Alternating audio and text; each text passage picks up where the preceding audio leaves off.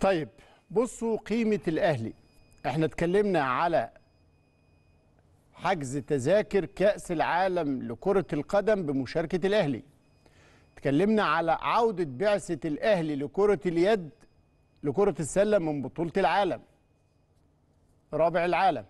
ثم الحديث عن مشاركة الأهلي في كأس العالم لكرة اليد البطولة اللي هتتلعب في السعودية إن شاء الله من 7 ل 12 نوفمبر المقبل كشف الاتحاد الدولي إنه القرعة هتتلعب يوم الخميس اللي جاي. القرعة هتجرى في مقر مقر الاتحاد ال- ال- الدولي في بازل بسويسرا الموافق 28 سبتمبر الساعة 12 ظهرا بتوقيت القاهرة يعني يوم الخميس اللي جاي 12 الظهر القرعة هتتعمل في سويسرا مقر الاتحاد الدولي. البطولة من 7 ل 12 نوفمبر اللي هيشارك فيها 12 فريق. القرعة هتنظم ال 12 فريق هيتقسموا إلى أربع مجموعات. كل مجموعة فيها ثلاث فرق. كل فريق هيلعب ماتشين في المجموعة. بعد كده الأول من كل مجموعة هيصعد مباشرة للدور قبل النهائي.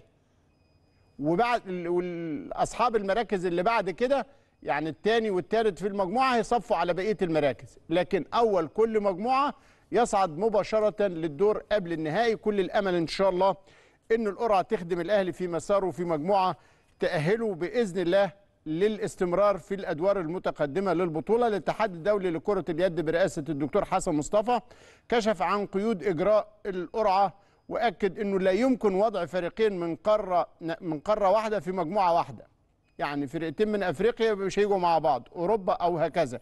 كما أن الخليج السعودي اللي هو ال- ال- المستضيف للبطولة بيحق له اختيار المجموعة اللي هو عايز يلعب فيها. وبيظهر الأهلي ضمن الفرق الأربعة المتواجدة في الوعاء رقم واحد رفقة ماجديبورج الألماني ده حامل لقب كاس سوبر جلوب كيلسي البولندي وصيف دوري أبطال أوروبا الكويتي الكويتي بطل البطولة العربية في الوعاء رقم اثنين هيتواجد الخليج والنور السعوديين وسان فرناندو HP الأرجنتيني والنجمة البحريني. الوعاء الثالث هيتضمن جامعة كوينزلاند الإسترالي وسان فرانسيسكو الأمريكي وبرشلونة الأسباني وفوكس برلين الألماني. دول الأربع أو الثلاث مستويات اللي فيهم كل إناء أو كل وعاء هيبقى فيه أربع فرق هتاخد كرة من كل وعاء لمجموعة من المجموعات الأربعة. كل مجموعة ثلاث أندية بشرط إنه ما فيش ناديين من قارة واحدة يكونوا مع بعض في مجموعة واحدة وأول كل مجموعة مباشرة يصعد للدور قبل النهائي الأمل إن الأهلي إن شاء الله أنا يكون مبسوط إنك آه. آه. شرحت الموضوع ده لأن كان فيه لخبطة مهم. اي خدمة آه أشكرك مم. آه، أنا عارفك هتشتغل لكن والله لازم أشكرك ليه آه ناس كتبت إن دي تصنيفات ان أها. الأهلي في التصنيف الأول آه. وإن آه، الوعاء الثاني ده التصنيف الثاني والتصنيف الثالث ويقول لك برشلونة في التصنيف الثالث هل ده معقول؟ منطقي؟ لا طبعا. مش منطقي. اذا أنت شرحت التصنيفات جت إزاي. والقواعد بتاعتها. فأنت دلوقتي خلاص أنت في في المجموعة الأولى يبقى أنت مش مش هت آه، مش هتلعب ضد ماجدبورج اللي هو أيوة، حامل اللقب. حامل اللقب. دي ميزة. بالظبط. طيب وكيلسي البولندي برضو فريق قوي. والكويتي الكويتي بطل البطولة العربية. هم طبعا الاختيارات دي بالنتائج. أيوه. هو مش مش التصنيف بشكل عام ولكن ما تم تحقيقه من نتائج بالنتائج. مؤخرا. أيوه.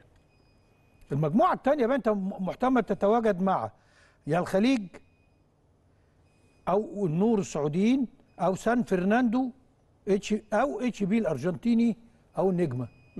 واحد من دول. أو تقع مع برشلونة.